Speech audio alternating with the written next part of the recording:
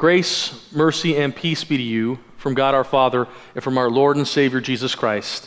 Amen.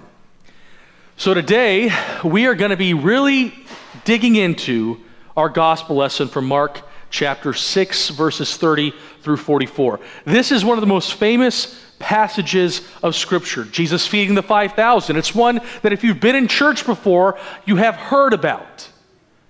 But I think it's a passage that sometimes we take a little bit for granted because it's one that is so well known. It's one that we just kind of almost gloss over and don't really think about very much. And we just see the miracle and the, the amazing moment of the miracle that Jesus performs and don't see all the other little things that are in this that I think are actually, in some respects, more important than the miracle itself. And so today we're really going to dive into this passage. And so I invite you to open up your Bibles or your Pew Bibles and follow along because we're, we're not going to quite do verse by verse, but it's going to be pretty close. So it's on page 1070 of your, uh, of your Pew Bibles. So to start all this off, to give us some context, Mark chapter 6, verse 30 is right in the middle of Jesus' ministry he has already begun to, to uh, get a great name for himself, especially in the region of Galilee. That is where he's from. That is where a majority of his ministry has taken place. Some took place in Jerusalem. Majority of his ministry was taking place in Galilee, the northern part of Israel.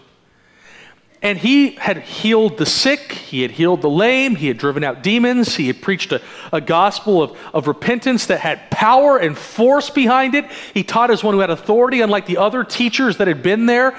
And so his popularity was growing. And it wasn't just because of the ministry that he was doing and the places he was, his ministry was growing because he had also sent out his 12 disciples to go and preach the message of repentance and the gospel to the crowds and to the communities in the region of Galilee. In Mark chapter 6, verse 7, we read this a couple weeks ago. Jesus sent out the 12 disciples to go to different towns. And so his fame is spreading, and people are wanting to be with Jesus. That's an important thing for us to note as we get into our text today. But then we get into verse 30, and we read these words The apostles returned to Jesus and told him all that they had done and taught. So the, the apostles had been away. They had gone out to the, the, the, towns that Jesus had sent them to. They had preached the gospel. They had preached the message of repentance. And now they were coming back to Jesus. Now they are returning from their first missionary journey. Up until that point, they had just been following Jesus and hearing Jesus. Now they were actively participating, joining, like I said a few weeks ago, they were joining Jesus on the mission that he was doing. Up until this point, they were just learning. Now they're actually actively joining, and they return. Now, what happens if a long journey that you've been sent out on with someone? A lot of times when you come back, you want to have a moment to connect with them to debrief, to share their excitement, to teach them maybe some more as well, to give them rest after a long time away. And that's what Jesus desires to do. In verse 31, he says to them, Come away by yourselves to a desolate place and rest a while. For many were coming and going, and they had no leisure even to eat. Jesus cared about his disciples. He loved his disciples. And so he wanted to leave the crowds not because he did not like the crowds, but he wanted to leave the crowds because he cared about his disciples. He wanted to connect with them. He wanted to encourage them. He wanted to rejoice with them. He wanted to teach them. All those things I've already said. So he wants to be away with his disciples. But the crowds are so thick because of his popularity that he doesn't even have time to eat. Constantly, there are people around him. And I don't think it's just that he doesn't have time, it's also it's a mixture of that and the reality that he doesn't even have the space to eat. They are constantly crowding around him. And so Jesus wants to be alone with his disciples. And he goes with them to a desolate place. I think this is a pretty amazing thing as well. This, this shows us a reminder, at least, of the nature of God as well. If we look back at creation, God created the world in seven days. Six days he worked, the seventh day he rested. He has sent his disciples out to work, and now it's not, not just about teaching them, but there's also an element where he wants them to come back and to rest as well, to rest in him and to be rejuvenated in him. So, the solution to this is to get onto this boat, go on the Sea of Galilee, and that's what they do. They went away in a boat to a desolate place by themselves. Now, desolate does not mean that it was a desert, it just means that it's removed from other communities. So, this is a picture of the Sea of Galilee. And what you notice about the Sea of Galilee, even from this picture, you can get an idea of it is a very, very large lake. It's not an actual sea. And also, most of that lake is like that. It's in a valley, so most of the, the shoreline, you are above the water. And this is important for why the crowds are able to see where Jesus is going. It is a large lake, but it's, it's not that much larger than Lake Minnetonka. So that's a big lake, but it's not enormous. And it's a round lake with nothing in between. And you're an elevated place to watch the sea. And so they go on this boat to go to the other side, to a desolate place. But many saw them going and recognized them, and they ran there on foot from all the towns and got there ahead of them. And so this is, this is why the people are able to see where he's going. They see him get in the boat, and they see where the boat is going, and the crowds want to be with Jesus. After all, he's feeding, he's teaching, he's healing, he's changing lives. Of course, they want to be with Jesus. And so the crowds all go and follow him. Now, the town he left from, uh, down here on the uh, uh, Bethsaida, up here, Bethsaida, where he left from, he ends up going to the Gennesaret Valley. That's at least where they believe this took place. We don't know that for certain. That's where we believe it took place. But he goes through here, and as he's walking by the people in Bethsaida, see where he's going. They see he's going this direction, and so they keep an eye on the boat, and they begin to walk. But there's already a huge crowd there. As they go along, they come to Capernaum. And guess what? More people join them when they come to Capernaum. And they come to Bethsaida of Galilee. And guess what? More people join them. And every single little village they go to, more and more and more and more people join them. So much so that by the time they actually get to their destination, there are 5,000 men, not including women and children. So in reality, there's somewhere between 10 and 15,000 people who have made that long journey by land all the way around to where Jesus is going on the boat. After all, it makes sense, right? This man is transforming everything. Of course, you're going to go and try to be with him. I mean, I, I try to think of like, I was trying to think of something that we can kind of get a, a modern day equivalent to the kind of phenomenon that Jesus was. And I can't think of anything in the world today that draws people in unity around one person or one thing. The closest thing I could think of was back to the 60s which I was not around for, but I know some of you in this room were. With the Beatles, right? When the Beatles came to town, everyone showed up because it was, the, it was, it was, it was a world changing band. People came from everywhere, and they, they, in some cases, almost worshiped them, right? Now imagine if the Beatles didn't just make good music, but they actually healed people. Do you think even more people would have showed up? Yeah, I, yeah, I think so. Yeah. That's Jesus. He is that power just from his teaching the people want to be with him. But you throw in the fact that he's healing people and changing lives, and everyone is willing to drop everything to go and be in his presence. And so as he goes by boat, the crowds go by land, and they see where he's going. And as they go, more and more and more people join that, that huge gathering to go and meet him where he lands. And in verse 44, 34, we read this When he went ashore, he saw a great crowd, and he had compassion on them, because they were like sheep without a shepherd. And he began to teach them many things.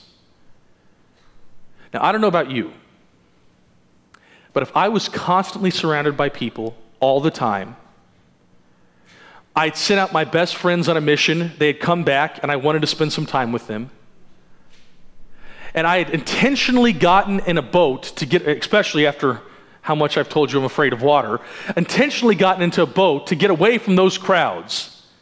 and I got back to the other side and landed, and there was more people there than had been there before, I would not be a happy person. I would not be happy at all. As a matter of fact, I'd probably get back in the boat and just go, just go back on the water, even though with how much I hate the boat. But you notice how Jesus responds here. Jesus looks on them with compassion. The Greek word is spongalizo. It's, it's a movement of the gut. His gut was moved. To his very core, he had compassion on them. Now, obviously, that makes sense. He's God, right? But he's also fully man. And in his humanity, he's moved that he has that compassion on those people. And the reason why he has that compassion is because they are sheep without a shepherd. Now, I'm not an expert on sheep, but I do, through my study of Scripture, I have learned a few things about sheep since Jesus likes to use that illustration of sheep so much. And some of the few things I've learned about sheep are this they are defenseless, hopeless, weak, and in many respects, and this is going to sound harsh, but it's true, in many respects, useless creatures on their own. Without a shepherd, they, they, they literally have no defense at all. If a sheep is not protected by the shepherd, the natural predators, it's not a question of if they will get the sheep, it's a question of when they'll get the sheep. Also, sheep are not very intelligent. If the shepherd doesn't lead them to a new grazing ground, the sheep will be, if they find it, they'll just stumble into it out of pure dumb luck. And another thing is, well, this is just kind of a side note, but in my study of Psalm 23, when, you know, Jesus is t- the great shepherd psalm, and he's talking about the idea of, uh, you know, lead me, be- lead me beside still waters. That's actually very significant when it's using the comparison of sheep, because if sheep fall over in water, they cannot, this is actually true, they cannot get back up and they will drown. That is how useless sheep are on their own. The shepherd has to be there to pick them up or they will drown. And that's why it's important to go by still waters in Psalm 23. But that's what Jesus sees when he sees these people. They're broken. They are hurting. They are beaten down with their sin. They are beaten down in their poverty. They are beaten down in their oppression as they're, they are being oppressed by Rome.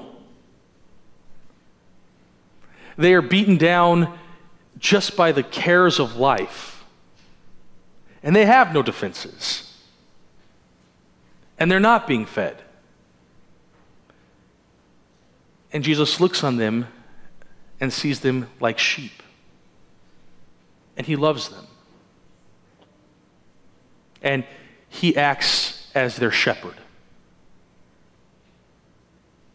Now, we don't know what exactly he taught them, even though, I mean, I, I, think we have a pretty good guess as to the content from the rest of Scripture. We can get an idea of what Jesus was teaching them. But regardless of what it was he said at this particular moment in time, he cared for them, he loved them, and he taught them. And he acted as their shepherd because they were wandering sheep.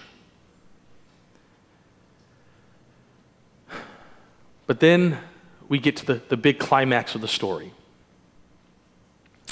It's late at night now, late in the evening. The crowds have been out there for a long time. It's a desolate place. Likely, it's about three and a half to four miles away from the nearest town that we know of where they believe this event happened. This is not an easy journey. It's rough ground. Three and a half to four miles would probably take an hour and a half to two hours. It's already late at night and there is nothing around. No food. There's not a Burger King. It's not a McDonald's. There's not a food truck coming through. There's nothing. And the disciples deal with the reality of what they know in this moment. After Jesus has been teaching them, in verse 35, we read, And when it grew late, his disciples came to him and said, This is a desolate place, and their hour is now late. Send them away to go into the surrounding countryside and villages and buy themselves something to eat. Now, it's easy for us, and this happens a lot when we read about the disciples, to say, Why didn't you get it? How could you be so dense? Don't you know who you're with? But the reality is, the disciples, we'd be the same way they were, and they're actually being very compassionate here. They're, they're not angry at the crowds. They're looking and saying, It's late. There's no food. Look at all these people. There's some old people. There's some young people. There's some people who probably haven't eaten all day. And, and it may actually, some of them may not make it back without food. So let's make sure they get back to the villages to buy food. It's interesting, this many men and women, a small, couple small villages would not have enough food for them anyway. So they're kind of, regardless, they're not going to, they're, they're going to be in a hard place anyway. But they're dealing with their reality of what they know. It's late, people are hungry, there's no food. What's the solution? Send them back home because maybe they can find some food there. It's amazing to me, though, how Jesus responds. You give them something to eat.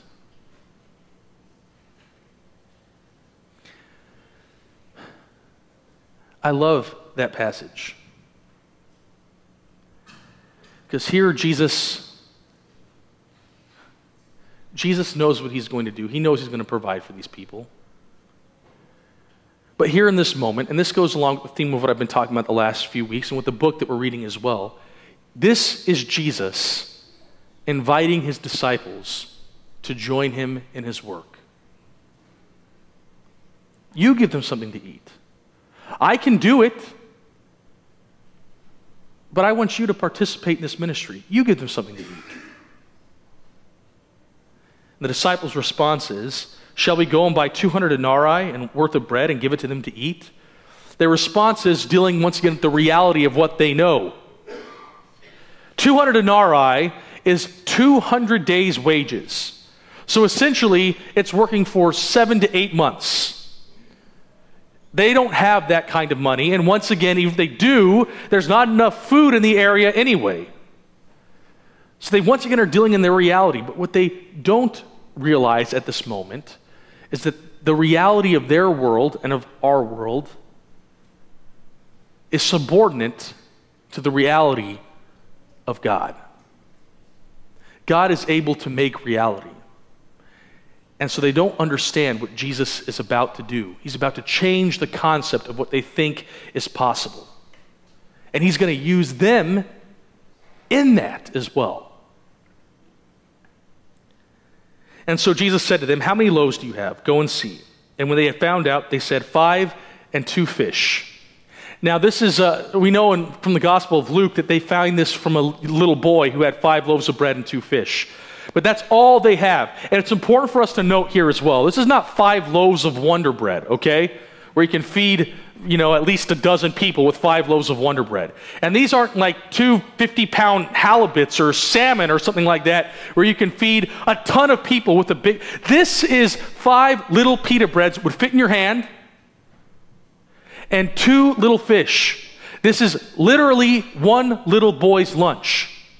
I know that's what we read, but sometimes when we read five loaves, two fish, we think, well, this kid was carrying a lot of food. No, he wasn't. This is a food, this is a normal meal for a 12 year old boy at that time. That's all there is. But this is amazing because at this moment, we're going to see one of the clearest points in Scripture where the divinity of Jesus shines forth. He is fully man, and yet he is fully God. And here he shows that. He takes those five loaves of bread and two fish, and he separates the crowds. Uh, we read in verse 39. He commanded them all to sit down in groups in the green grass. So they sat down in groups by hundreds and by fifties. And taking those five loaves and those two fish, he looked up to heaven and said a blessing and broke the loaves and gave them to the disciples to be set before the people. And he divided the two fish among them all, and they all ate and were satisfied. This, like I said, is the mo- Jesus shows his divinity here because he creates out of nothing. I know you're saying, well, there's not nothing. There's five loaves of bread and two fish. How do you feed 15,000 people with one meal? He creates out of nothing, and only God can do that. And we look back and we see that the one who created the wheat to begin with, to make that bread, is the one who speaks and blesses and gives to all the people more than they could want. The one who created, spoke fish into existence, is the one who separates that fish and creates more out of nothing to give to the people so that they are fully fed. He shows forth his divinity here, beyond a shadow of a doubt, that he is fully God, fully man. And he provides for the people who are there in that place with their physical needs in this moment. Even though we also know earlier he was meeting their spiritual needs, now he is also meeting their physical needs. But the other thing that's great in here is that who actually feeds the people? It's not Jesus. Now, Jesus, actually, Jesus is the one who provides, Jesus is the one who supplies. Ultimately, you can say, yes, Jesus is the one who feeds them. But the people who actually take the active part of distributing the food, Jesus does not do that. It's his 12 disciples. Earlier, he had said, You feed them. He doesn't change that request now. He still says, You feed them. I'll provide everything you need. I'll do the hard work. You just feed them. And they're the ones who do that. I don't know about you, but I mean, to me, I, I, read through this so often, and we always just talk about how Jesus, this is really significant here that Jesus uses the disciples to be the ones to distribute the food, especially after he had told them, You feed them. And I think that speaks very much to, to us, the church, as well, which we'll get to in a moment. But right now, we're just going to finish up. We're going to finish up the text, and we'll get into kind of how this applies to us today. So they feed him. Everyone is satisfied. And then they took up 12 baskets full of broken pieces of the fish, and those who ate the loaves were 5,000 men. So I, this is significant as well in the fact that there is leftover food 12 baskets full of food. And this is uh, the baskets would not be like a huge basket like you see in some of the paintings, but they'd be like a little, almost like a fanny pack kind of thing. It's a basket that you put on your hip and you carried with you, and you'd have your lunch in there. But there's leftovers for 12 people. That's, that's God, God just signed there, there's a, a descriptor again there, that God doesn't just provide the needs of people, He provides abundantly. So, this is a really great passage. And like I said, we read through this or we hear the story. We don't dig into it very much today. So, I'm hoping that we've, as we've done that, you've maybe learned a few new things that you haven't learned before. But uh, I don't want you just knowing interesting facts about this story. I think this story very much speaks to us today in our faith life as well. And there are probably more than three things we can learn from this story, but there's three things I want to focus on today. And that are these things. The first is that Jesus wants us to rest in Him. I know we talked all about every aspect of this story, but if we go back to the very beginning of those first few verses, the entire story starts off with Jesus wanting to take His disciples away so they can rest in Him and with Him, so they can spend time together. He could teach them and He can rejoice with them. The crowds all come to Jesus because that's what He's doing. He's wanting to be alone with his disciples and he's wanting them to find rest in him. And that is true for us today as well. We need to find rest in a, weary, in a weary world. But rest does not just mean a good night's sleep or going up to the cabin on the weekend, even though there's nothing wrong with any of those things. The rest that we really need as the children of God is here. When we come to worship on Sunday, there are many reasons why we come to worship. But one of the most important reasons we come to worship is to find rest in Jesus, to be reminded that we are forgiven for our sins, to be fed by Him in His Word, to be fed by Him in communion. We are to find rest here because when we go out into the world during the week, just like those people, those sheep who were shepherdless, we can get beat up. At our work, in our relationships, in our struggles in faith, and the things that happen in life that just, we, we can get beat up by life. And when we come to worship, we find rest in Jesus. We rejoice with Jesus. We learn from Jesus. And so, worship is so important for us to participate in because we find rest in Him, which is a very important thing. The first command God gave was to rest, right? Actually, the first command He gave was to work, actually, but, but that's another story. So, but we are to rest. The second thing, this is not so much something that we learn today, but we are reminded of today, is that He has made us His sheep. We all, at one point in our life, were like sheep without a shepherd. Every single one of us, at some point in our life, were wandering, hopeless, helpless, defenseless. And Jesus came and became our shepherd. He became our shepherd when he took on our humanity. And yes, even while he was fully God, he became fully human. He became our shepherd when he bore our sins on the cross. He became our shepherd as he suffered and died, as he rose from the grave. He became our shepherd as he called us into our new life in him through the waters of holy baptism. We are sheep of Jesus who have been bought with a price. But we need to remember today that we have the shepherd.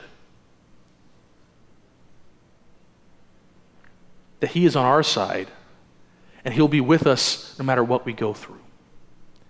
And finally, the last thing that I think really applies to us today is this Jesus feeds us, he makes us his shepherds, I mean, he makes us his sheep, and then he asks us to feed others.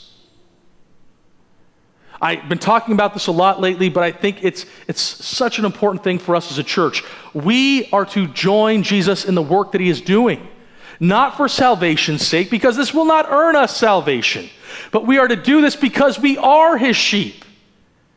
And he invites us to go with him, just as he told the disciples, you go feed them. In the same way, he says to us, look at the people out there in our community. Look at the people in your, in, at your place of work, in your relationships. Those people, not all of them, but a lot of them, are sheep without shepherds. And I want you to bring me to them. I want you to feed them. He is the one who provides in all this. He's the one who creates faith. He's the one who's doing the work, but He wants us to go with Him. In the same way that He was the one who actually provided the food, He did the really hard work, He still sent the 12 disciples to actually distribute it. In the same way He creates faith, He does the work, but He sends us to go with Him in sharing the salvation, the hope that we have.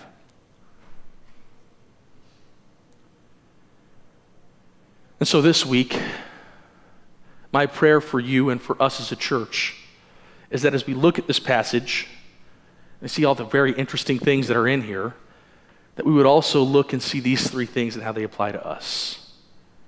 That all of you would find rest in Jesus. And if you're not able to be here because you're up at the lake or the cabin during the summer, find a church near where you're at and go on Sunday morning. Find rest in Him. Be reminded that you are His sheep. And then, as His sheep, feed those who are wandering without a shepherd. Amen. And now may that God of grace and mercy who feeds us and watches over us be with you and abide with you always. Amen.